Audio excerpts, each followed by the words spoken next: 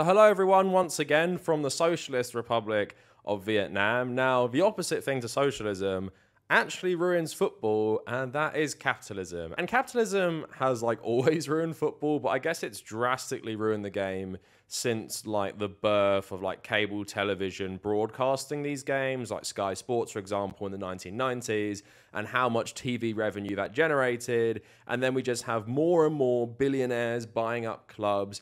And of course, what Qatar represents is the influence of Gulf Arab money in football itself. Clubs like Manchester City, which were nowhere near the top of the English game, now are one of the best clubs out there, thanks a lot to Gulf Money. And because Gulf Money has so much influence now, that is how we get something like the Qatar World Cup. And as we're going to get into, it's basically like the Fyre Festival version of the World Cup given to a country that really does not have much of football culture, had to essentially create all the infrastructure after they won the bid and are still actually creating the infrastructure while the World Cup goes on. Capitalism is ruining football in many, many ways, known as the people's game, the working man slash woman's game. Now it literally has just become a plaything for American and Gulf Arab billionaires who want to just squeeze every little bit of profit out of the game. That's why you get the president of FIFA saying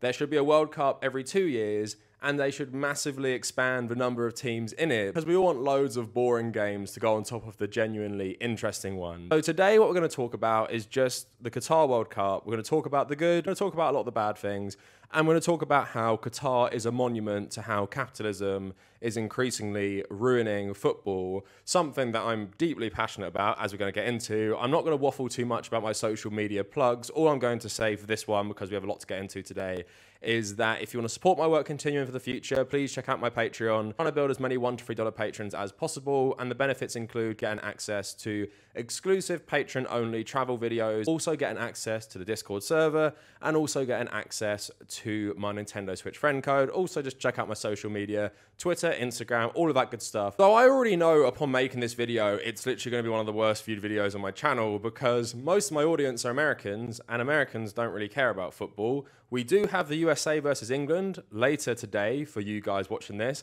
The only time I'm ever going to be patriotic about being English is when we play the USA. I'm going from come out you black and tans to literally celebrating the War of 1812 where the British burnt down the White House because I can't accept the Yanks beating England in a game of football. But before we start talking about the World Cup, a lot of you guys might be watching this. You don't even really like football, but you like my content on my channel.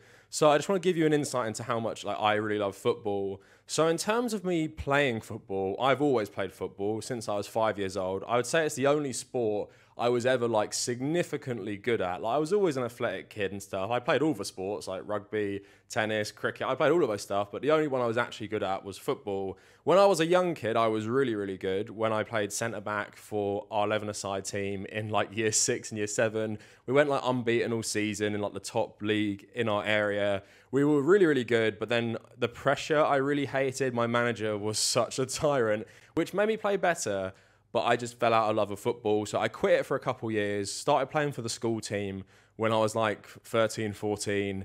And then thankfully, when I was 17, me and my friends actually started our own club. My friend was the manager, owner, and I was like co founder and club captain and it was just so so fun. Absolutely loved it. And a lot of the people i've been playing with i'd always played with because most of my friends come from my primary school and secondary school.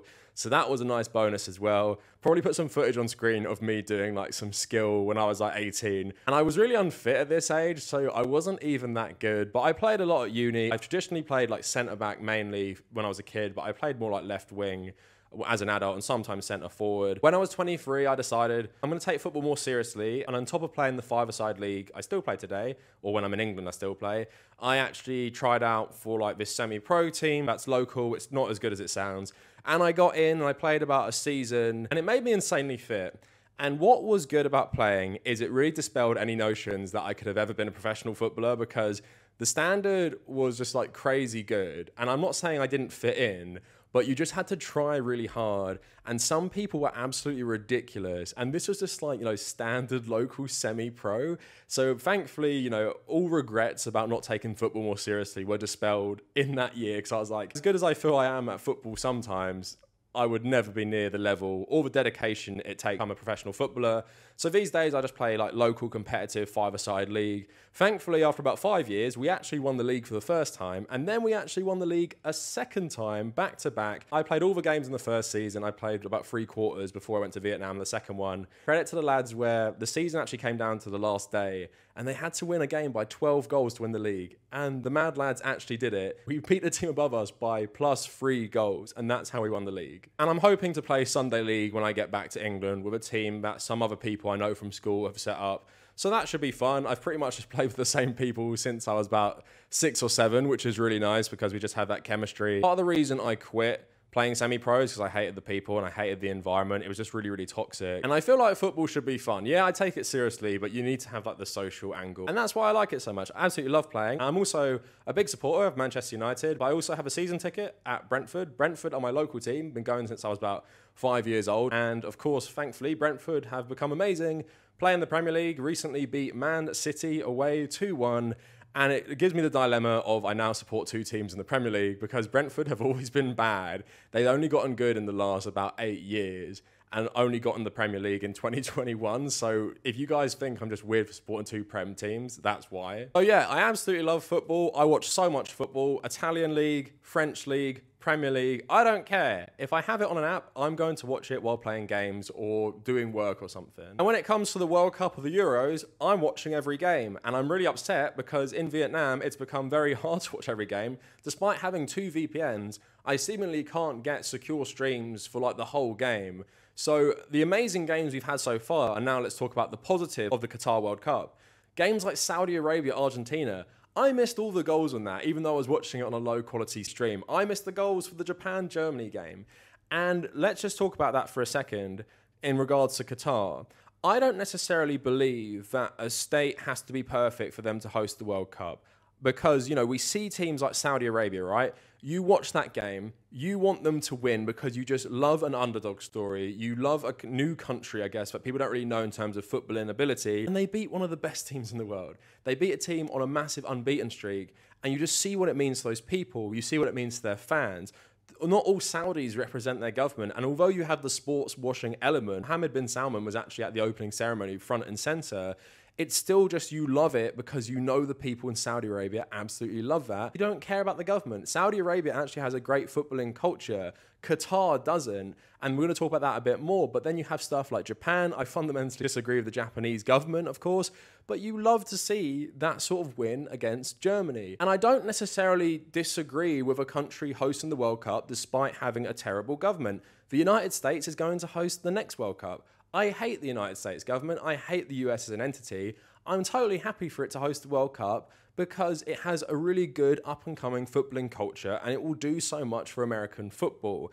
And even in terms of Russia, despite it being this horrible, you know, dictatorship, I do see the arguments about sports washing with Putin, but at the same time, Russia has a really rich footballing culture. As a country, it's mad about football, has historically also had really good teams in European competitions as well. One of the best goalies of all time came from the Soviet Union. And it also had the infrastructure to host that tournament because it has such a big footballing culture. And now let's get on to Qatar. Qatar does not have this footballing culture. It does not have a massive population of rabid fans like Russia has, or like Ukraine or Poland who've hosted previous tournaments. It's not like England, so I literally cannot see any reason Qatar got to host it apart from corruption. Yes, that's why Russia also got to host it, but at the same time, you can justify at least because Russia has a good footballing culture and a rich footballing history. Qatar has none of that. It's just the monument to how capitalism is ruining football by giving it to a country that neither has the footballing culture, does not have the infrastructure to host this tournament, and also has a terrible government. So you've got the trifecta there of why Qatar shouldn't have hosted the World Cup. Now, I said this is the Fyre Festival. This is the Fyre Festival of the World Cup. So let's start with the thing that is most relatable to Fyre Festival. That is the fan villages or the accommodation for people coming from all around the world to Qatar, this insanely hot country, who cheer on their nation in the World Cup. So there's a really good video on BBC where a guy actually tested it out. But of course, I cannot show you that clip. So I'm going to show you some pictures from the report. We're going to talk about it and then just read some quotes of people staying there. Because it's an absolute joke. This country has had over 10 years to prepare itself for the World Cup, and it still couldn't get it right because it's a monumental task. And of course, as we're going to get onto later, it was built on the back of slave migrant labor as well. This country was not prepared for a World Cup. So I actually stopped over in Qatar on my flight to Hanoi. And even at like midnight, we went outside for a tiny bit. It was absolutely roasting. That was only two months ago. I know it's a bit colder there now. But here you see the rooms they get and the tents. Like, this is the biggest Fyre Festival vibes. So if you guys don't remember, Fyre Festival tents look like disaster relief tents or something, and people paid so much money. So people are actually paying 170 pounds a night for these, and there's no air conditioning. The material makes it even hotter, and all you get is an electronic fan, and there you see some people in there. And then the toilet facilities are just like out in the baking sun. You have toilets and showers and sinks and stuff like that. Um, the water is brown, according to people living there, and also you get the nice view of construction going on all around you while the World Cup has also started. And then they also have a big screen in the middle of like some dirty, like hot, empty area where you can watch other games. But who's going to want to do that? So it's an absolute joke. And the host actually stayed the night there. But just going to read the article, which shares some quotes from the actual video. So, um, it's still under construction. In the daytime, it's kind of like hell in there. It's a desert. It's too hot. Surprisingly, as Shogo Nakashima delivers the scathing review of his home for the next two weeks, he has a smile on his face one that says if I don't laugh, I might cry. I cannot change where to stay right now, so I have to accept it and wait for Japan's match. I'm very happy this guy got to see them beat Germany at least. I'll only be here for sleeping. I'll go out and explore the city. I don't want to stay here. The 31 year old from Japan is one of the first people to arrive in the Qetaifan Island fan village just north of Doha, where construction is still being carried out in some areas a few hours after it was open. There are 1,800 tents, each capable of housing two people. Pedro and Fatima live in Spain but are here to cheer on Mexico. They got married in April, and this trip is part of their honeymoon. It costs about £175 a night. To be honest, it wasn't what I expected. When you see the pictures and read the description, and it's a FIFA World Cup, you expect a little bit of quality. This is like a subpar hostel that you find backpacking across the world. It's like it being in a greenhouse, so we weren't able to sleep past 9 a.m., even though we were exhausted because of the flight. There's no organization whatsoever, no one knows anything, the stores are closed, there's no drinking water. This is really definitely not what we paid for. For some, the reality of the situation calls for more drastic action. Jamal, who has travelled from Paris, paid about £2,700 for a three week stay at the fan village. Amazing. But after less than 24 hours at the site, he is packing his bags and heading the exit. For me, it's not a good experience. There's no shower gel, no toothbrush, no toothpaste. He also shared with us his booking confirmation sheet and the fact he thought he was turning up to a hotel. So immediately, when I read this report and watched the video, I thought of Fyre Festival. These people who'd been conned out of so much money from an insanely wealthy government and nation, no less, to stay at these terribly constructed tents in basically the middle of the desert during the day. And I don't know about you, people have gone camping and it's hot out. Like I went camping about two years ago in like July, and about 9 a.m., my tent was cooking. This is in England. Imagine being in Doha in the Middle East and trying to stay in those tents, and all you have is a fan. Absolutely insane that they're charging so much for this. Maybe if they charged like £10 a night, £20 a night, I'd be like, yeah, okay, I guess it's like quickly constructed, but hey, it's cheap. Like a backpacker's hostel, like this guy was saying. But no, £175 a night. You could get some insanely nice hotels in Saigon where I'm staying for that. Instead, they got some horrible tent in the middle of the desert with nothing around it. I'm sad that guy got conned out of that money, and they even said he was staying at a hotel for that price, and he just ended up in the middle of the desert in a tent. So just as Fyre Festival was this big con, so is the Qatar World Cup for fans. Now, speaking of fans, I mentioned Qatar does not have a good footballing culture. If you hosted the World Cup in places like England or Western Europe, pretty much every single game is going to be full, both with traveling fans and locals who love football, right? It's pretty hard to actually get tickets to a lot of these games when they're hosted in countries of footballing culture. Well, in Qatar, don't worry, most of the stadiums are actually empty when they play, and they've actually paid loads of migrant workers to pretend to be fans of various nations. I've read that fans of like Germany and Denmark have really not come in big numbers, Holland as well. I have seen a fair few like England fans, and of course, what Qatar is good for is you've got a load of Iranian fans, Tunisian fans, loads of Middle Eastern and North African countries fans have showed up in force so I guess that's nice of them. Obviously, an absolute ton of Saudis who've just driven over the border. And I'm not inherently opposed to a Middle Eastern World Cup or a MENA region World Cup. It's just that they chose Qatar, not Egypt, not even Saudi Arabia. Like I said, for all the terrible things that country is doing right now, the redeeming thing in terms of the FIFA World Cup is it has actually a pretty good footballing culture. No, they chose Qatar where every single club game has empty stadiums. They pay like really decent players loads of money to go play there who only come for the money. So talking more on the fan stuff, Qatar accused of paying hundreds of fake supporters to parade for the cameras ahead of the World Cup. Um, footage has emerged of football supporters from across the globe filling the streets of Doha a week before the World Cup kicks off. Qatar Living, dubbed the country's first official community platform on TikTok, has been posting videos of fans from different countries gathered in their hundreds with flags, painted faces, and banners. It's not clear whether the fans are migrant workers who live in Qatar and have been parting early, or whether the parades have been staged by the authorities. Another post appears to show England fans chanting and playing the drums, marching through the streets holding a banner which says it's coming home, but obviously wasn't England fans. The behaviour of the supporters appears to be carefully curated and staged, and questions have been raised about the legitimacy of the fans. Some have accused Qatar of orchestrating the parade using fake supporters and questioning why fans have arrived in their masses before more than a week before the World Cup starts. So, like I said, Qatar is not only paying fans, it also has empty seats very visibly on TV in these absolutely massive stadiums. So another article, image of empty seats exposes Qatar World Cup crowd lie. On the opening two match days of the tournament, eyebrows were raised and conspiracy theories launched as official attendances came in well higher than the capacity of the stadiums the matches were played in. And this was despite thousands of empty seats, as seen in images taken during the middle of matches.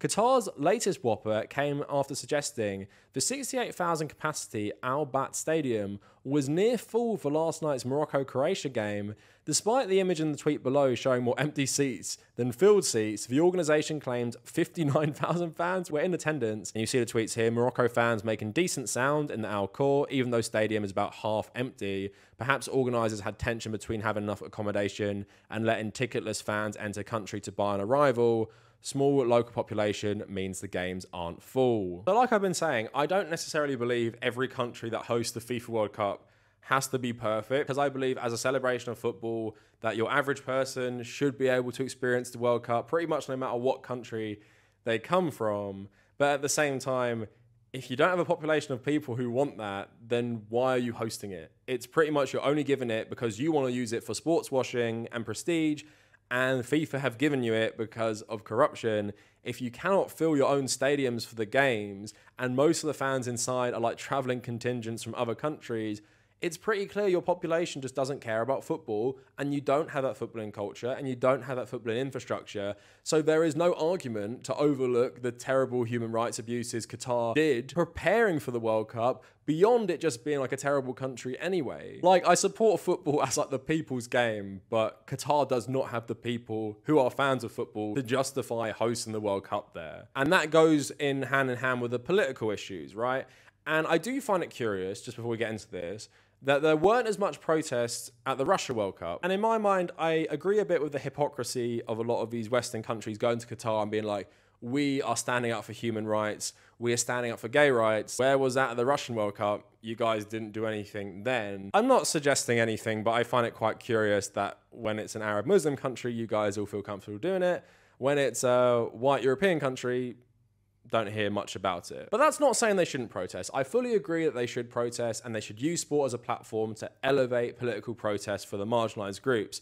The problem being is that the moment they faced a tiny hurdle, the European teams all backed down. So basically, if you've missed it, the European teams were meant to wear a One Love armband supportive of the LGBT community. Qatar is one of the worst places in the world to be in that community. And it would be a nice show of solidarity in the world stage, in spite of FIFA being insanely corrupt and giving Qatar this World Cup based on you know bribes and not taking into consideration either their human rights abuses or taking into consideration how they don't have a footballing culture. But then the news came that FIFA might take action against the captains of the football teams who wear the armband, right? So it was rumored that it could be a fine, but it could go as far as getting a yellow card every time you wear one. So if you guys don't know the rules of football, you get a yellow card as like a first offense if you do a bad tackle, handball, loads of different things. And then you get a red card if you get another yellow. You can also just get a straight red card. If you do get two yellows that equal a red card, you get banned for the next game. So Harry Kane is England's best player, top goal scorer. So if he got a yellow card in the game, he'd be out for the next one. So England decided they wouldn't do it. And all the European teams decided they wouldn't do it. They didn't want their football to suffer because the protest actually didn't really mean anything. I don't like using the word virtue signaling, but it is pretty much virtue signaling if you plan to do a protest for gay rights in a country that's terrible for gay rights and then back down because the captain of your team might get a yellow card. That's all. Is that all it took? One yellow card. And even if he got a red card, right? That is good because your protest is doing something and it will bring attention to it. But instead, they back down and wore this like FIFA anti discrimination one, really wishy washy. And it's just a bit of a joke because all these people are coming out and saying, like, Qatar's terrible for human rights abuses. Qatar treats gay people terribly. And then they all go and cover the World Cup. Even Alex Scott, who's a very, very popular sports commentator in the UK, she wore the armband herself when she was covering the game. But then people asked her before, like, well, why are you even going to Qatar in the first place? And she's like, well, I love my job. It was a hard decision. Why couldn't the BBC and other groups make a studio at home? It's not like people don't do this all the time where they cover foreign football games from domestic studios. These people are just hypocrites. They want the fame, they want the cushy jobs. They don't actually care about gay rights. And another funny thing as well, these people barely ever say anything about discrimination towards the LGBT community in Britain itself, which is getting worse. This isn't a joke. Britain is one of the main Western European countries that is going backwards on LGBT rights, including our new Prime Minister, who's firmly a transphobe, including the Labour Party, who will never stick up for trans rights and has loads of transphobes among them.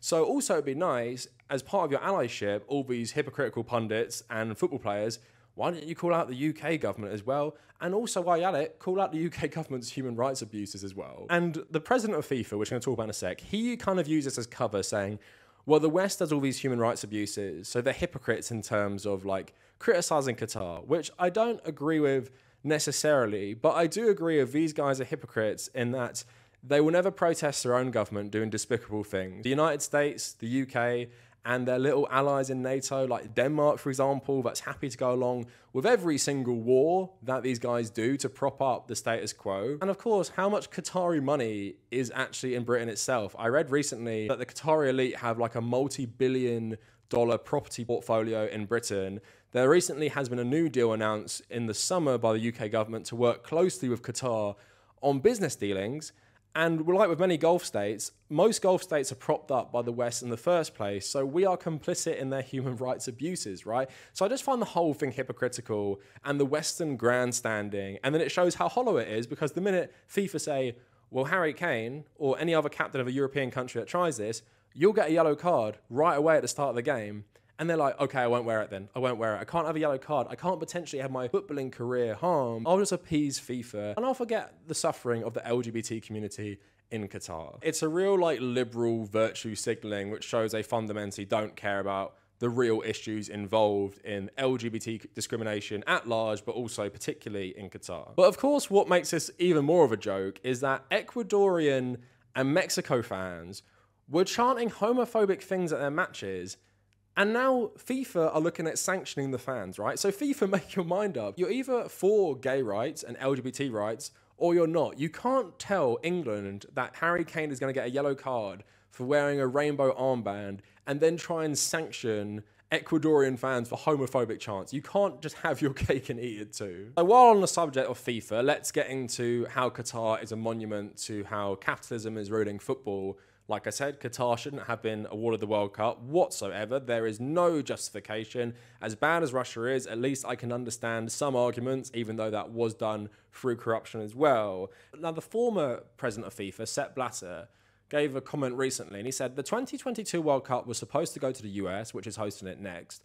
A week before the FIFA convention, Michel Platini called me that he'd just spoken with the French president Sarkozy, who told him to vote for Qatar. Six months later, Qatar bought fighter jets from France for $14.6 billion. And Sepp Blatter said this, the guy who awarded it to them. The country is too small, football and the World Cup are too big for it. The decision was a mistake. The executive committee decided that the 2018 World Cup would go to Russia and the 2022 World Cup to the US. It would be a sign of peace, having two countries with a long history of political clashes hosting the World Cup back to back. That's an absolute joke, but no doubt it's true coming from an insider on that deal. Now, Vox has a good explainer of some more elements of the corruption that got Qatar the World Cup. So FIFA awarded Qatar the World Cup in 2010, um, but before this decision was announced, there was of course loads of corruption scandals in FIFA. So in 2014, Sunday Times reported on a trove of leaked emails and other documents suggesting that prominent Qatari soccer official and a former FIFA executive committee member, Mohammed bin Hammam, had allegedly paid millions of dollars worth of bribes to FIFA officials. A subsequent investigation into corruption allegations conducted by FIFA's chief ethics investigator and former US attorney Michael J. Garcia found evidence of serious irregularities in the bidding process but offered no conclusive proof that Qatari officials had used bribes to influence the outcome of the vote. In May 2015, the US Department of Justice unsealed indictments against FIFA officials, accusing the officials of racketeering, wire fraud, and money laundering in connection with a far reaching scheme to sell broadcasting rights for the tournament. Soon after, authorities in Switzerland announced a parallel investigation into allegations of corruption into the bidding processes for the 2018 World Cup in Russia and Qatar. And then in April, the US Justice Department released fresh evidence suggesting that three FIFA officials accepted bribes from unnamed intermediaries to vote for Qatar. So obviously, the only reason Qatar even got it was money. That's well established now. And just to make this even worse, because Qatar only won it because of money and no other reasons, like I said, they had no infrastructure to actually construct the tournament. So Vox also reporting about the labour conditions, mainly migrant labour. So the horror of Qatar's worker system are no secret, and the dangerous conditions created by that system are not unique to preparations for the World Cup.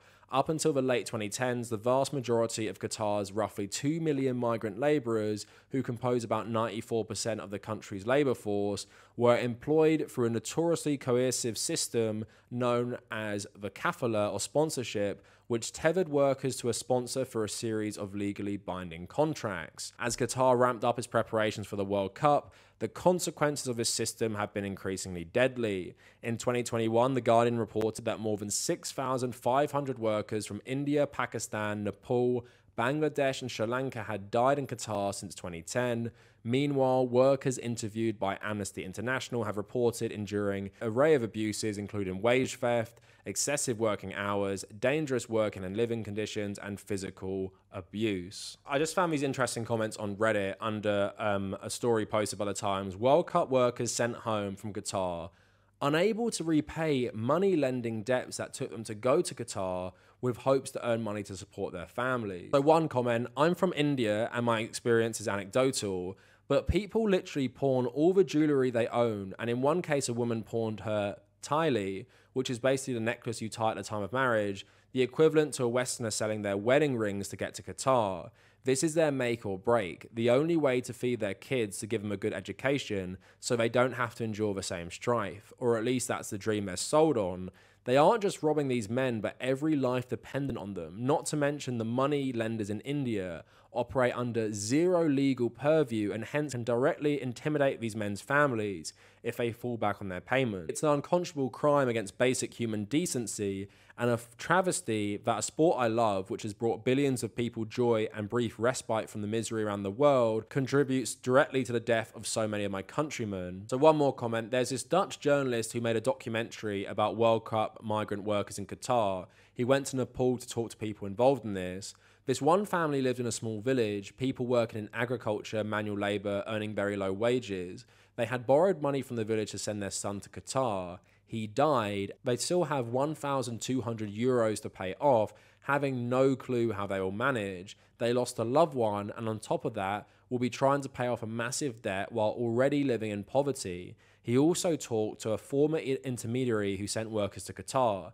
This guy said they would lie about the wages, saying it's 160 euros instead of the 110 to 120 euros a week. For many, the money was too good to turn down, so they were lied to, worked in terrible conditions, and earned too little money to make a dent in the debt they took on. Some have lasting health conditions, some never made it back all around terrible. So despite like the ridiculousness, the fyre festival aesthetic of the Qatar World Cup, underlying it is very serious problems with corruption in FIFA and of course modern day capitalism, but even taken to a more extreme, like these people aren't just having their labor value stolen like so many people do across the capitalist world they're literally being put into like literal slavery in some cases across the last 12 years, and in many cases being lied to so that intermediaries can make a profit sending these migrant workers to Qatar in the first place. It's just an all round gross system which Qatar already had, but because of its promise of the World Cup, so many were sold on the dream that you can go and make a lot of money working in Qatar. They need people like you because they need to construct the World Cup. Well, what happened is that these workers were exploited even worse than your average construction worker in these countries are because they knew they could take advantage of them coming over for another country and using Qatar's brutal labor system to really treat these people like subhuman. So, absolutely disgusting that not only would FIFA award Qatar the World Cup based on anything, but, but then they overlook this, right? Because I would have far less problem if Qatar reformed its labor system and imported migrant labour to build the World Cup and paid these people very well, treated them very well. These people made a good living for their families back home. But as soon as FIFA found out about this stuff, it's been well known for about a decade now how badly these World Cup workers have been treated, they should have cancelled it. It should have never been allowed to host the World Cup after they found out about this, even after the corruption that allowed them to have it in the first place. And that is essentially what the World Cup is a monument to how capitalism is ruining football. A country with barely any footballing culture, a country with no footballing infrastructure that has to actually build all of it based on slave migrant labor in some cases, where thousands of them die constructing this World Cup, only for a load of it not to have even been finished, and then to see empty seats in stadiums and seeing migrant workers paid to be fake fans of different countries, it just shows you the state of the game in 2022. A country like Qatar can just use its vast wealth to bribe its way into hosting a game that means so much to so many people around the world. Like I cycled through a rural northern Vietnamese village.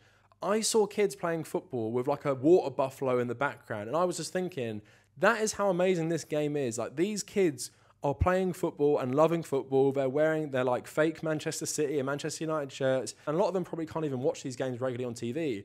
But they love this game, and you have that all the way up to the highest level of the competition. Everyone loves football. The World Cup final often has like a billion people watching it.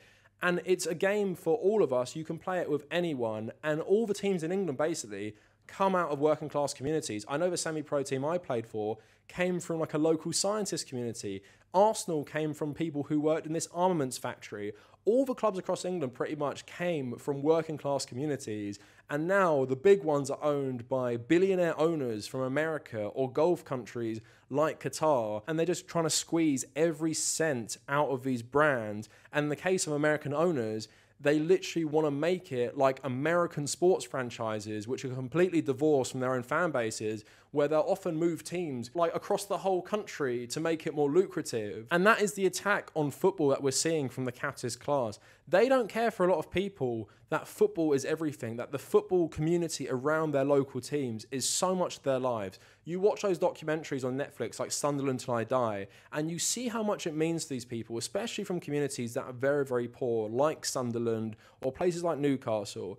And these people just want to take it away because they want to expose our love for the game and they want to monetize it back to us. And they want to milk every single cent out of the game because they know it's so popular. They know we'll pay. Well, they know even people like me will watch the Qatar World Cup because we love the players. We love watching these national teams clash. We love watching games like Saudi Arabia, Argentina. It just is such a horrible thing how much this World Cup was constructed on terrible working conditions and just corruption. I can make multiple videos about how terrible capitalism and football is together. I'm just depressed. We can't have English football go the way of American sports. Like that would be one of the worst things ever. I'm happy the Glazers are going to sell Man United, it seems, these American billionaires who own like American sports teams. But at the same time, you see Newcastle United bought by the Saudis and pumped full of money. What is that the future now? We're going to swap our American owners for Gulf Arab owners instead, who are just going to buy up world football where no other country will be able to compete with the likes of Man City and Newcastle and PSG. Let me know down in the comments, and if you made it this far,